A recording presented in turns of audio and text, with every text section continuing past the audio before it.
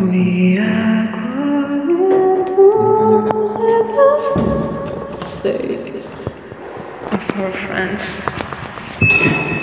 Have a great day, guys.